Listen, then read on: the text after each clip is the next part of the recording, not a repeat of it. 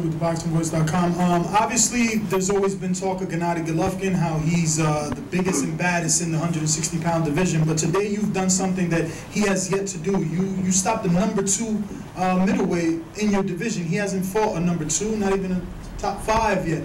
Does this make you the best middleweight in the division?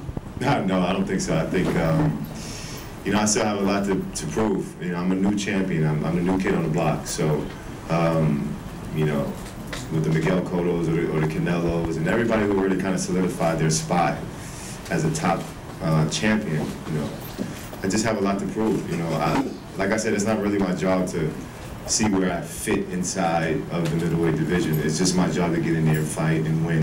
And where they place me, you know, it's all good. Because as long as I'm winning, you know, to me, that's what's most important.